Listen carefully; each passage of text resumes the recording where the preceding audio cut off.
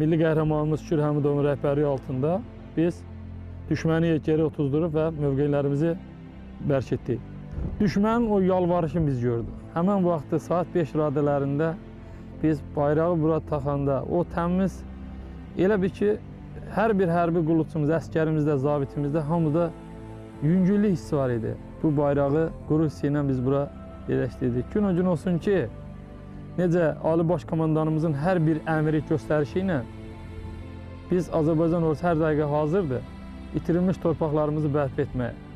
Çünki mən bir döyüş hazırlığının zabiti kimi deyə bilərəm ki, daha da ordumuz gücləşdirilib, döyüş hazırı yüksəlib, hər dəqiqə düşmənə layiqli cavab verməyə hazırıq.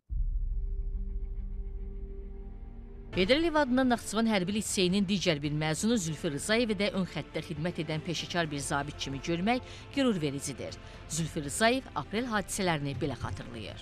Ermənilər hər zaman bizim ön xəttdə olan kəndləri, şə- şəhərləri çox vaxt güllə altına salırdı, atəşkəsi mü- mütəmadi olaraq pozurdu.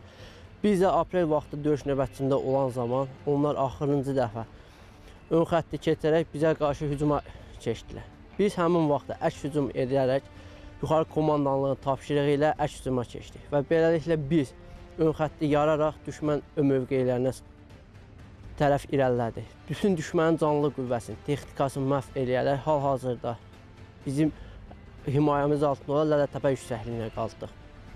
Biz həmin o yüksəklikdə qalxmağımız qürur duyurduq, fəxr edirik. Çünki illər boyu həsrətində olan torpaqlarda edirik. Bu böyük bir zəfər idi.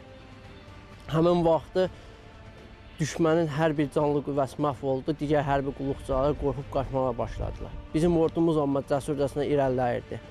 Həmin vaxt şəhidlərimiz, yaralımız olsa belə biz bu yenə də bizi yayındırmadı öz fikrimizdən və irəliyə doğru atılırdı. Həmin aprel döyüşləri bir daha sübut etdi ki, bizim ordumuz nəyə qadirdir.